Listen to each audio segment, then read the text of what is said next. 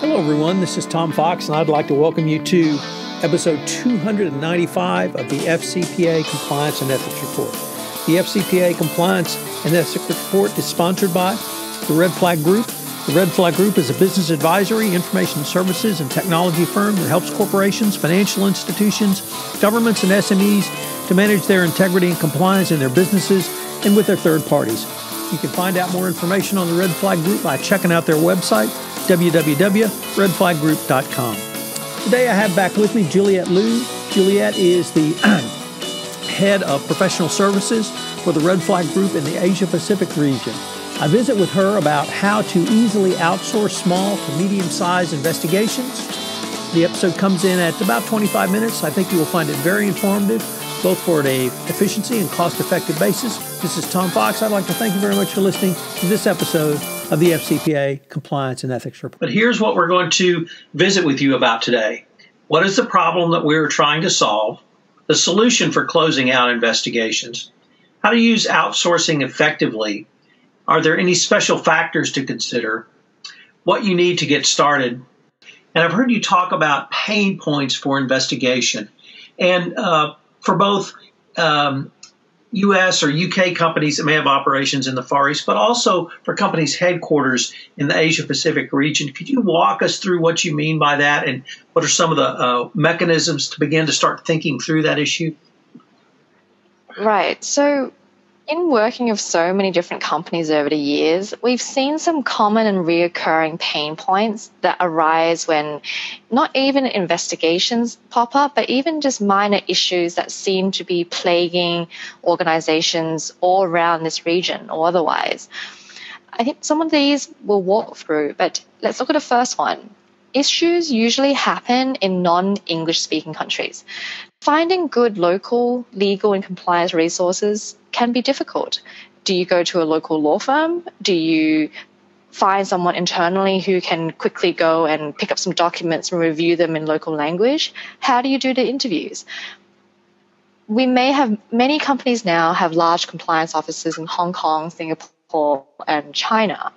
But what if an investigative issue or something that warrants an investigation um, pops up in Thailand, in Vietnam, um, even in Myanmar or Laos. Usually, companies have not developed to a point where they have local compliance resources to deal with that issue. Secondly, prioritizing what appears to be a small issue can take up valuable resources. So, in the everyday life of a compliance officer, there may be issues that are more burning, will take precedent, or generally are just more of a priority because attention has been given to it from management. So, how do we deal with some of these small issues that continuously pop up and that we leave open? Leave, as we'll see over the course of this webinar, leaving an investigation issue open is probably some of the worst things you can do. Another pain point is investigations or some of these reviews, they tend to drag on. Um, it takes ownership and a very fast approach in order to close them out. And lastly, I think everyone has experienced this. Costs can escalate. Legal costs are high generally, that's just a universal fact. E discovery platform costs are high. As we spoke last week, many e discovery platforms charge a base minimum fee. They also charge sometimes an annual subscription fee. And then on top of that, they charge per data ingested, meaning if you load 50 gigabytes, because that is just how big someone's laptop is, they will charge for the entire 50 gigabytes, even if what may be relevant in the end will be one megabyte. It doesn't matter. They will charge with all data ingested and loaded into the system. And no doubt, costs can escalate because not closing an investigation just adds to cost because you generally lose control and then costs just skyrocket because you're trying to close it as fast as possible and you're paying expedition fees and acceleration fees and just throwing resources into it by the time it gets big. But no doubt, all issues, small or large, do need to be closed. And Tom, we did speak last week about the cost of not monitoring, but this week we thought we'd talk about the cost of failing to close out an issue. Well, certainly that's one of the key areas that I think, don't think companies really think through. And the difficulty or problem is in the era of hyper transparency, uh, it is almost impossible for an issue uh, not to to get out to the either the public or the regulators or within the industry. And so if you fail to close that out, uh, you can really lead to a much costlier um, problem that might pop up. So, Juliet, I guess what I would ask is uh, from your perspective as someone who handles investigations, what are some of the things that you have seen, specific things that you have seen that can lead to uh, an, an issue which may appear small, nevertheless is, is not addressed in a timely manner? What are some of the difficulties companies have gotten into?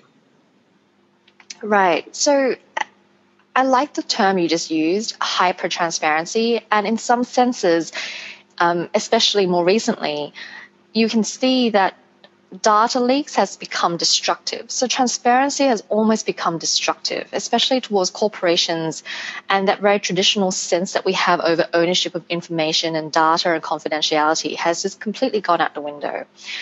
And so it, it does take a special type of person and a number of factors combined for someone to be a whistleblower, to make a report, to report an allegation.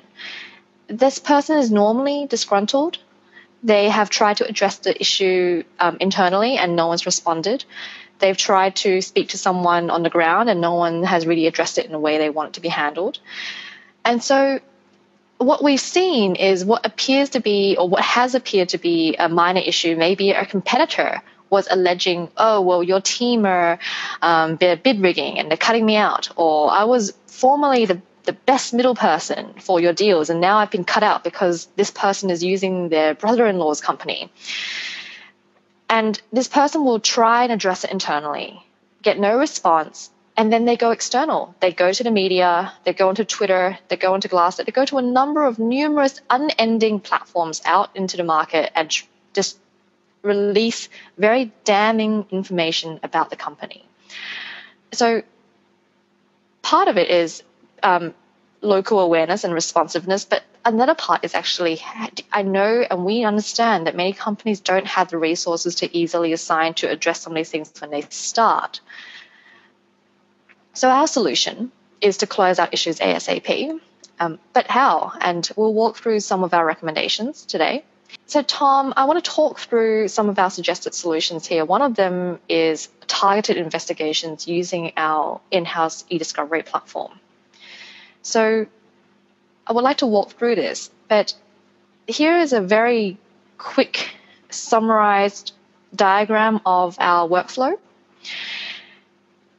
Basically, what we have done and what we can do is as soon as an issue arises, escalate fast and hard internally, get the commitment to address it. Now, we can help with the data collection piece on the left here. We can tunnel into email servers. We can retrieve laptops. We can even pick them up for you. Um, or you can mail us the laptops. You can mail us the hard drives. We then simultaneously, whilst we load that into our system in preparation for review, we may do a background check to check for conflicts of interest. Then we will start the email and document review and the interviews and reporting out. Now, how does it work? We load keywords into our platform and do a search. Now, let's walk through a step by step example. A side company, seemingly not a huge issue up front. But one of our clients and one of the companies, um, one of the biggest IT companies in the world, they had a new Bosnian distributor and they were, I guess, a bit suspicious that this third party had risen to become one of the top tier resellers within the course of two years. This company that was this brand new incorporated two years prior had risen out of nowhere to become one of the largest market share distributors in the region. They asked us to do a quick due diligence. This took us about four days. We confirmed that the director was the brother in law of a sales manager, meaning they did not share the same surname, but through interviews and discreet inquiries, we did uncover the fact that he was his brother in law. So then we went into the emails and we targeted out of the whole realm of emails that we were going to look at, we targeted about 5%, and we estimated that 5% was actually probably enough for us to load into our data system and do a quick search. We used the name of the brother in law to find the emails. Um, 5,000 results, that's not bad. That's actually very, um, very digestible. We used the customer names where the side company was a distributor. We narrowed it down to about 100 or 200 results. And the outcome was that we were able to substantiate a conflict of interest. Now, why was this important? Why didn't we stop? Why did the company not stop at the first round after we confirmed that brother in law was related? It's because in parts of the world, especially with people that have long years of tenure, to terminate certain employees will it takes a lot because there are strong employment laws, especially in um, countries which were formerly part of the USSR it takes a lot of proof of wrongdoing in order to be able to terminate someone without paying them out for their 15 years of service.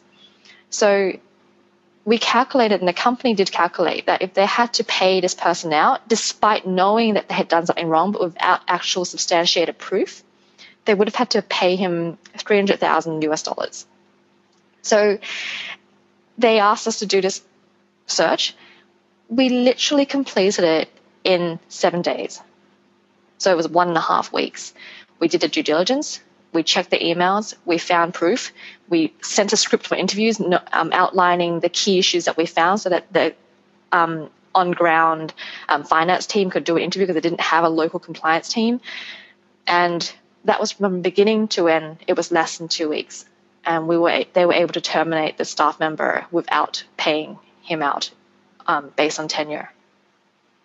Juliet, if I could, on the outcome uh, that you determined, from my perspective, it seems to me that the outcome and how you documented that outcome is important not only to close out the individual matter, but you can utilize the outcome in a variety of ways. You uh, described one remedial step that you were able to take, but you can use this um, substantive outcome as both a defensive measure if uh, that employee then brought suit or some other legal action, but there may be other legal issues that w- would have arisen or arose, which because of the quick resolution, you were able to document and have company counsel either prepare uh, other other steps or at least have something in the file so that if a regulator did come knocking, the company would able be able to document that the the matter was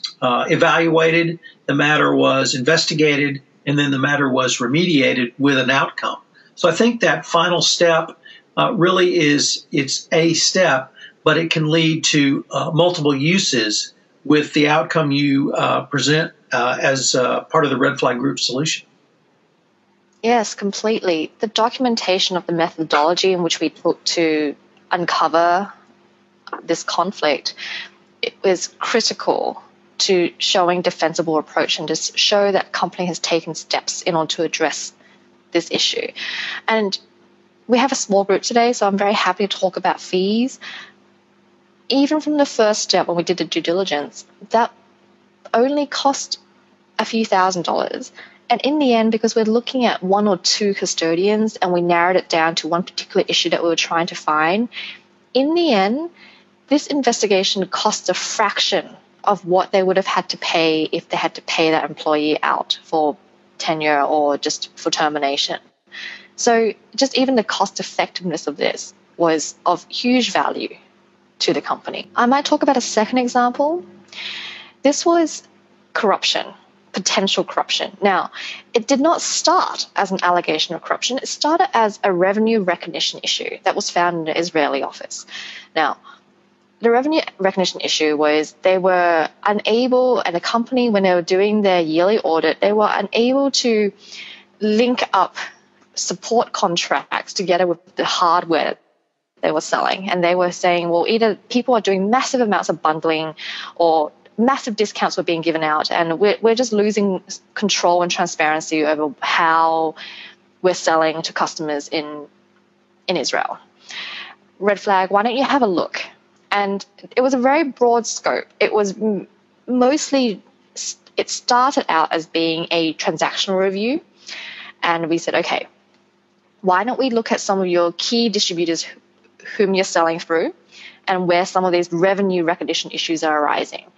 Did a very quick due diligence and we found, okay, there are maybe two or three companies where we need to look at. And it seems that these two or three distributor deals, somehow the country manager, despite his seniority, is always involved. So it seems like this person has a lot of control over these deals. Okay, let's have a look. Let's look at his emails.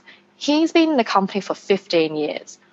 Um, now at the most senior position in Israel um, and manages a number of countries in the region as well. 20,000 emails now. Let's filter that out and say, let's look at some of these companies and do a deep dive into these companies.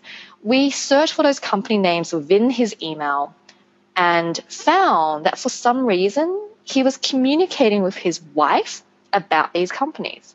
So we did a deeper dive into the due diligence and found that the director was actually under his wife's name. And so she was using her maiden name, and that's why we couldn't pick it up before. But because we had we married up the email review together with the due diligence, we were able to confirm that his wife was a director and shareholder of that side company. So that was one line that we definitely just hit upon.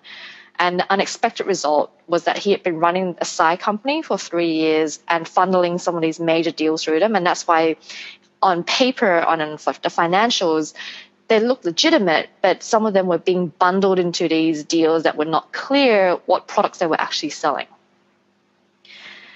There, we also hit upon something else. Um, we found communications of a certain government official, and we set, we found communications where this country manager was interacting with the government official to ask for a favor to give to a customer.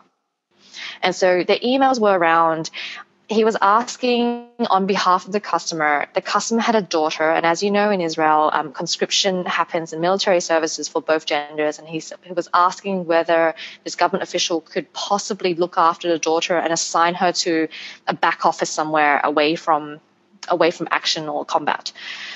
And so there was a corruption link as well. And so, again, you have someone who has been in the company for 15 years, is very senior, has done very well for the company, has done very well for himself as well. How do we find um, not only the smoking gun, but the actual pinpointing of the issues that he has been involved in for years and has been, um, I guess, in some senses, embezzling from the company? So, Juliet, uh, if I could ask you on the outcome investigation. Um, it didn't start out as a corruption investigation. Did you find that, or would you uh, uh, speculate that the outcome could be used in a variety of ways, similar to the prior slide where we had the uh, the one individual uh, distributor? This did not start out as a corruption investigation, but it turns out that it ended up being a corruption investigation. Um, this investigation took three to four weeks. Everything was done in a mixture of English and Hebrew. Um, I ran this investigation myself um, as a project lead, but all the resources we were reviewing were a mixture of English and um, local resources who could read um, who could read Hebrew. So again, the documentation aspect is so important, not only from documenting the shareholdership and directorship of the wife, but also the direct emails linking his communication to this company to his wife and therefore confirming that not only was there a side company going on, he was directly related and he knew about it. Um, we did do two rounds of interviews with this person. Once when we found the side company, but before we found the government official interactions. And even then, he denied it. He said, I don't know, this is just a company, not related, no idea.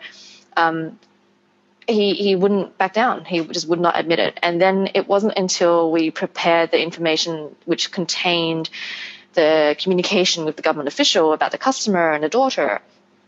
Um, not only did we present that last, again, the second interview, that he, um, he actually just said he would resign. So um, even then, documenting each of those interview processes was in our final um, multiple renditions of that report.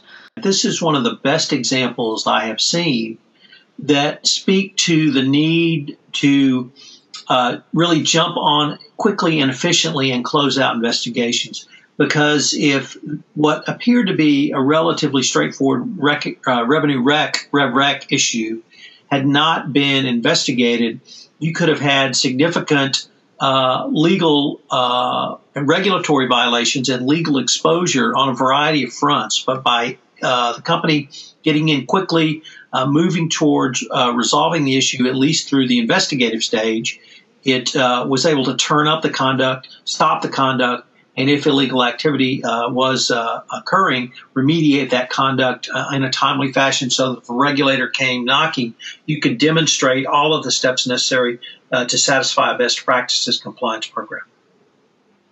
Yeah, exactly. Well, you know, further uses of use cases, um, we've used a similar methodology for abuse of marketing funds, systemic fraud. Um, that last example was definitely an, an, incident of systemic fraud. Of course, the country manager is involved. He had his entire team in on his fraud that he'd been running for 10, 15 years. Um, bribery and corruption, conflicts of interest, bid rigging, collusion. Those last two have traditionally been very hard to pick up through even due diligence alone or email reviews alone. They need to be married together. They need to be targeted. They need to be done by the same people so that we know what we're looking for. If I go back a slide, we would not have found this if we weren't doing everything ourselves simultaneously, quickly using the same people. It's because there were names in the media research which we picked up on and we found why is his name coming up? it may seem innocuous when we're reading it through the media. It may seem innocuous when we're reading an email separately they mean nothing. It isn't until we read them together and we thought, why are these names coming up? Can we change the search strings to look for this?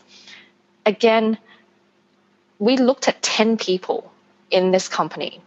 Um, and in the end, the fees, um, it did not hit six figures. It, if this had gone to a law firm, it would have been a quarter million at least. And this is feedback that we got from our client who also used a law firm for separate issues. And they, they just were able to compare the different types of outcome results, um, speed, efficiency, local language resources, and costs. And they told us outright um, they can't believe we actually um, closed some of these things um, in a matter of weeks. So, where we add value, yes, this is the same slide as before, but 50 languages in house and this is just in-house capabilities. Um, we have offices all around the world. We're legally trained. Um, all investigations are led by lawyers, staff of forensic investigative resources. Um, we do understand monitoring. It's more than just a technology platform. So not only do we, ha- we have our in-house platform, but we not only have built it ourselves, but we know how to use it. We know how to fine tune it. And you have access to resources available at all tiers, whether it's just admin staff all the way to lawyers and principals.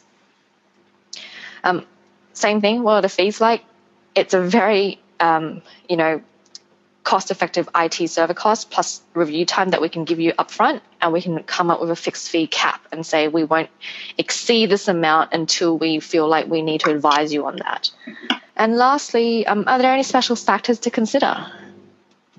Yes, there may be data in China that needs to stay in China. Again, we have ways to deal with this. We tunnel into China and we can gain access to information um, without causing information transfer and do the review locally.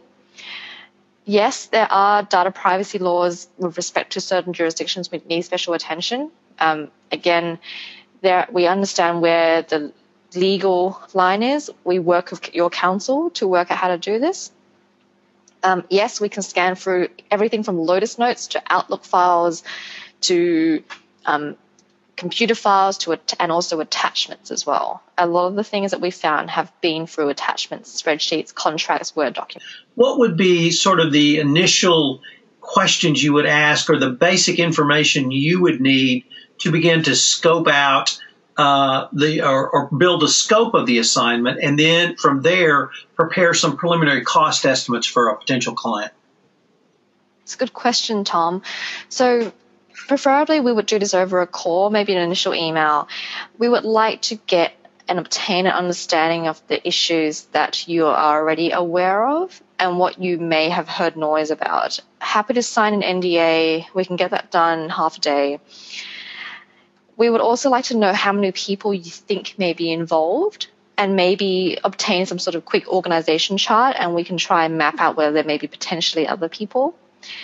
Based on that, if it is related to a side company or due diligence, we can start that pretty much straight away. Um, we can start that on the day to check for directorships and shareholderships.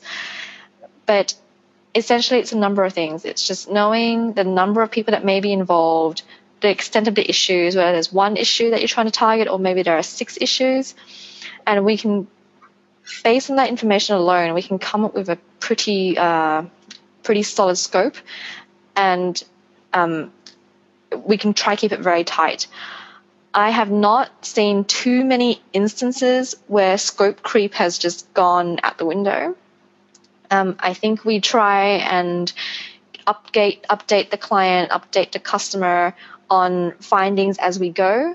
We give communiques, weekly reports, um, even just an update on the number or volume of things that we're going through.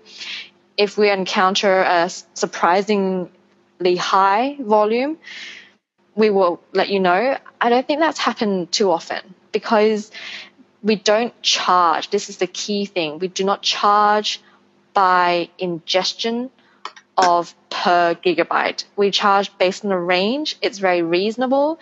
And because we can see the volume straight away, because we're not we're not trying to negotiate down the amount that we're trying to put onto our system because we have complete control and transparency over it because it's our own system we can do the quick filtration upfront on what we estimate to be the volume so juliet uh, if i could just maybe uh, conclude with why i think these steps are important from the regulatory perspective you mentioned the methodology and that you can prepare a detailed uh, presentation uh, showing the methodology of the triage, of the evaluation, of the scope of the assignment, then, of course, uh, the recitation of the facts you discover and the presentation of the outcome in a written written pre- presentation or other. And from the regulator's perspective, that's absolutely what's required of a corporate compliance officer or corporate in-house legal representative to uh, demonstrate that when a matter comes in, it is appropriately addressed, both internally and retention of expert outside counsel to lead the investigation when appropriate. And these medium to small level investigations are really the ones that tend to fall through the cracks because uh, they are not perceived to be as dangerous, and so they don't get the attention and they're left to fester. And I think you've demonstrated to us if you leave something to fester, uh, multiple uh, violations could could continue to occur. But I really want to compliment you for the process that you have articulated because, in large part, compliance is about process, and that's what regulators are looking for. Are you able to uh, have a process in place, and do you follow through with that process? I think that sums it up very nicely, Tom. Thank you. Hello, everyone. This is Tom Fox again. I'd like to thank you for listening to this episode of the FCPA Compliance and Ethics Report. I have two calls to action for you. The first is if you are listening to this podcast on iTunes, I would greatly appreciate it if you would uh, rank, uh, excuse me, rate our podcast. It will help our rankings going forward. The second thing is if you have any questions or uh, on this episode, or if you'd like some questions answered on a podcast, shoot me an email at tfox at tfoxlaw.com. This is Tom Fox. Thank you very much for listening to this episode.